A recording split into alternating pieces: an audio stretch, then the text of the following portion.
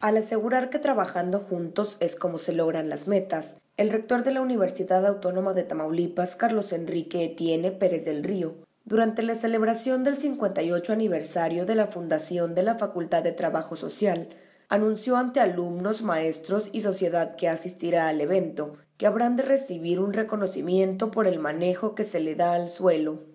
Etienne Pérez del Río dijo sentirse contento porque esta semana ha sido provechosa al recibir el comunicado del reconocimiento que habrán de recibir en los próximos días. Muy Y esa felicidad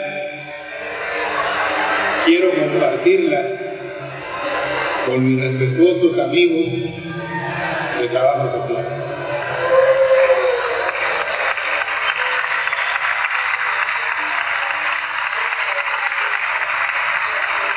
Desde el 2014 nos integramos a una asociación internacional calificadora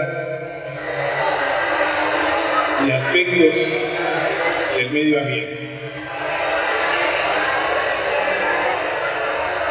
Hay 24 países afiliados, 700 universidades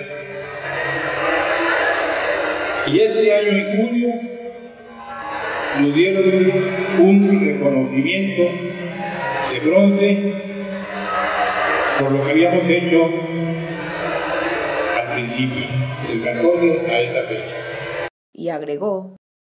Y hace unos días recibí un comunicado en el que me comunica que de las 700 universidades a nivel mundial la Universidad Autónoma de Tamaulipas era acreedora al reconocimiento de primer lugar por el manejo que se le daba al suelo. En primer lugar, de 700 universidades a nivel mundial, premio que recibiremos a finales de octubre en Minneapolis, Estados Unidos. Dijo que en la página de Microsoft hay un apartado de grandes reconocimientos de éxito, en donde en un amplio espacio se lo dedican a lo alcanzado en telemática e integración de sistemas a la UAT. Es un reconocimiento mundial.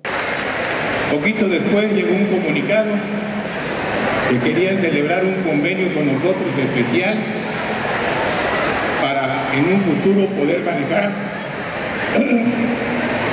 lo que está desarrollando la universidad. Pasado mañana, jueves, estarán aquí en la ciudad para ver este asunto. Esta es la Universidad Autónoma de Tamaulipas. Para Notivisa Tamaulipas desde Ciudad Victoria, Carla Mendiola.